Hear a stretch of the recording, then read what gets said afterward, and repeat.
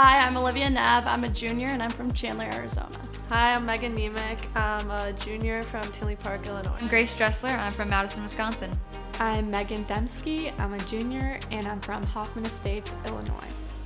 My name is Kirsten Pelican. I'm a junior and I'm from Elgin, Illinois. Hi, my name is Amanda Cassidy. I'm a junior and I'm from Maple Grove, Minnesota. The first game I went to before I was a Rambler was on my unofficial visit, and Amanda and I went and watched the team play.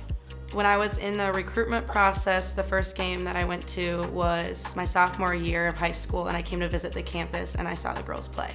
The first Rambler game I remember going to was, I think when I was a junior in high school, and I got to see them face off against Missouri State.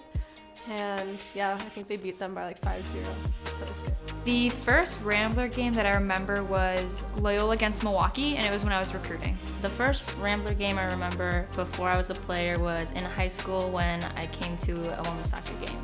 I vividly remember right when I committed, before I was actually at Loyola, I went to a game with Allie Kilberg and Maddie Hausman, and we were brought onto the field with the team for the warm-ups, and it was super memorable and made me really excited to be a Rambler.